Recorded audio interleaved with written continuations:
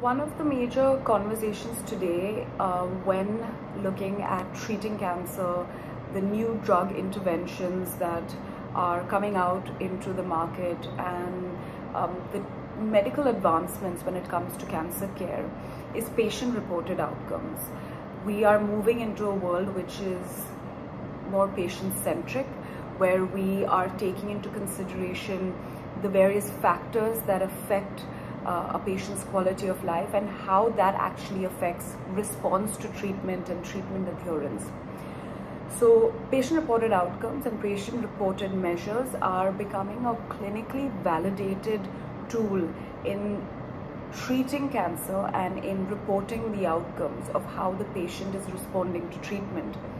There are multiple trials, clinical trials, that include quality of life measures and patient reported outcomes are part of the trial protocol because of the impact that these various factors that affect quality of life has on the drug itself. Um, when it comes to oncology, we used to live in a world where it was very symptomatic. The tumor was looked at independently without really any attention on how a patient felt, what were the nutritional deficiencies of the patient, what were the physical discomforts and distresses of the patient, um, and what were the psychological and emotional constraints that the patient felt and would feel when going through that drug regimen.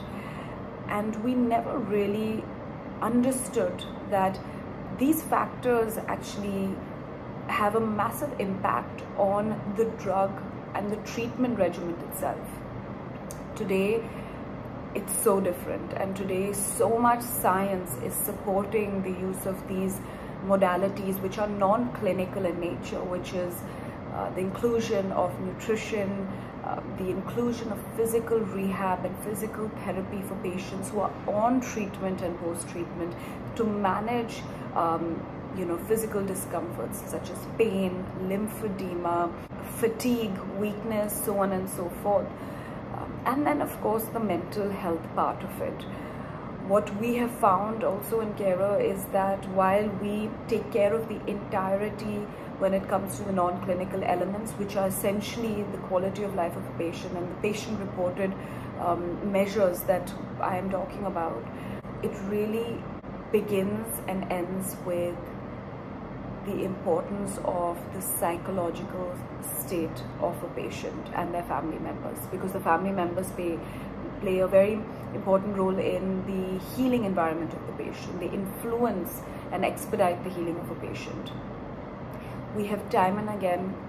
noticed that the state of a patient's mental and emotional uh, level has a massive impact on how the patient adheres to the treatment regimen, how the patient responds to the treatment and the drug protocol, and how the patient actually improves in terms of quality of life and, and actually speeding up the healing and recovery um, of their cancer journey. So one thing that we stuck to was always um, assessing and monitoring the quality of life measures, today called patient reported measures and patient reported outcomes. And we see more and more evidence of these outcomes and these measures becoming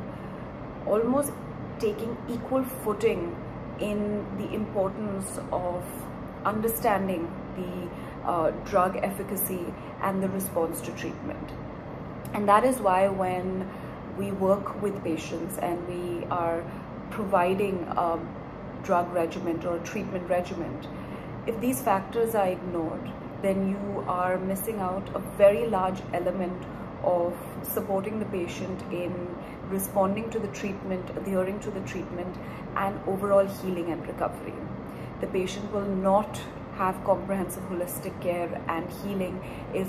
patient-reported measures and quality of life measures are not included in the drug regimen and the cancer treatment protocol.